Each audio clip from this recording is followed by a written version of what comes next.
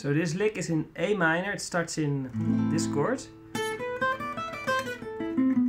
Which this is a nice uh, position, and the the whole idea about this lick is this: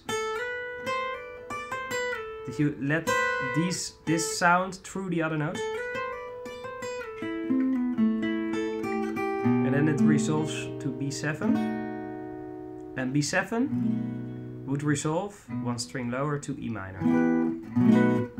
So it starts with A minor, B7, E minor. So on A minor you play, and then you play this chord that resolves to E minor.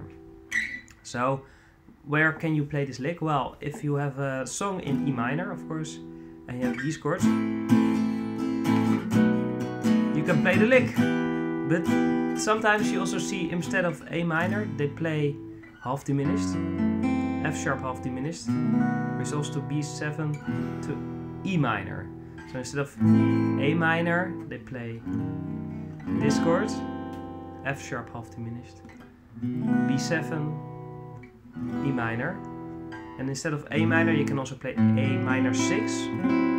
And if you look to these notes, they're the same notes as this.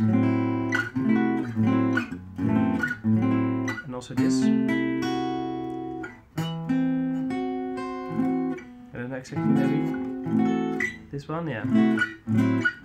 So it's the same chord. So if you play here, you can see the two of starting from A E, the five starting from E, and the one E minor. And it's called a two five one in minor. And there my pick ended up in the guitar now. So that's where you can play the 2-5 uh, Uh, in E minor, you can play this lick. Have fun with it.